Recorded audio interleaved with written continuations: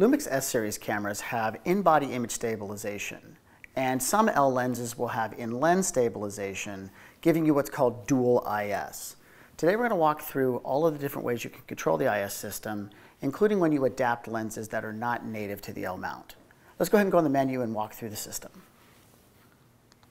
Image stabilization can be adjusted either from the top tab, which is the photo tab, or it can be adjusted from the movie tab. It's called image stabilizer. On the movie tab, it's the bottom option. On the photo tab, it's the second to bottom option marked image stabilizer.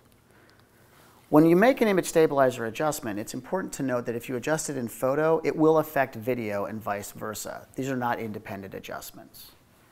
Once in, your top option is operation mode. The first option is that it's always going to stabilize up, down, left, right, diagonal, pitch, and yaw. The bottom option is called auto. If the camera detects that you're panning with the subject, it won't stabilize in the horizontal direction, so you're not constantly fighting the stabilizer as you pan with your subject. When to activate. Its default is at half press. That means it's not going to stabilize until you press the shutter button halfway down. The alternative is always, meaning that it's always going to be stabilizing. E-stabilization. This only is a video feature, so you have to be recording video. But what this will do is it's going to use a region of the sensor, crop in just a little bit, and stabilize in that unused part of the sensor. And then we have Boost IS. Boost IS is a very aggressive stabilizer for video shooting. It effectively gives you the look of being on a tripod even though you're hand holding the camera. Now let's exit our menu and try adapting some lenses over to the system. This is an active adapter you can see by the pins that are on the back of it. When you connect an active adapter to the Panasonic S-Series cameras, There'll be communication that happens between the lens and the body. Autofocus will be available on select adapters. But what's important for us right now is that as we zoom the lens, it's communicating the focal length of the optic. This means that the stabilization system can correct itself as we zoom to 70 millimeters.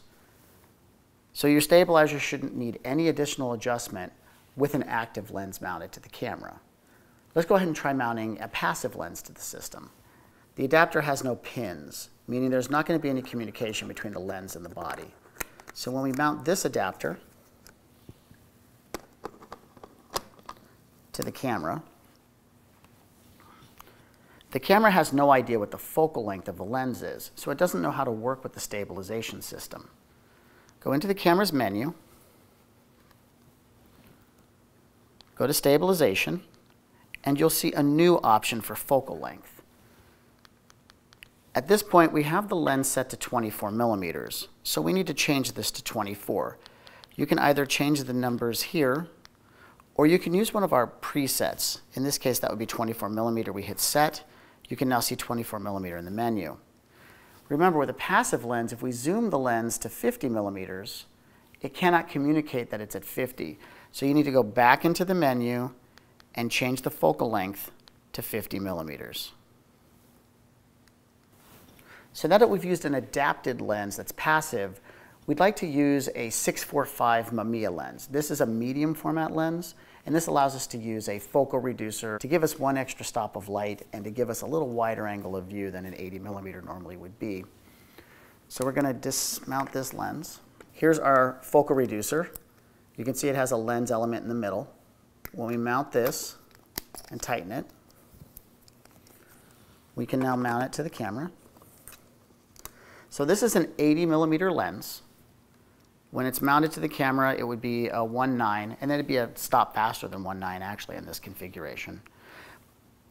But we don't want to tell the camera that this is an 80 millimeter lens. We need to do some math. This focal reducer is actually a 0.71 focal reducer. So you take 80, multiply it by 0.71, and that comes out to roughly 56.8 millimeters. Go into the camera's menu, Go to stabilization. We need to change the focal length to 56.8. And now we're fully stabilized. One additional stabilizer feature is called our IS Status-Scope. IS Status-Scope can be accessed from the cog or gear tab. It's the second to bottom option. That option is called Monitor Display 3. And when you turn the Status-Scope on, it gives you two red targets and a green ball in the middle. As you'll be able to see, when we press and hold the shutter button down, the camera will try to move the ball within that targeted area. In the center target, that means that the stabilization is at its most effective. If that green ball begins to move to that outer circle area, the stabilizer will be less effective.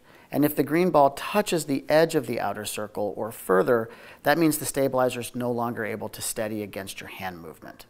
IS Status-Scope will teach you how to hold your camera more steady so you get sharper photos. And that's all of the great features we have in the image stabilization system of the S-Series cameras.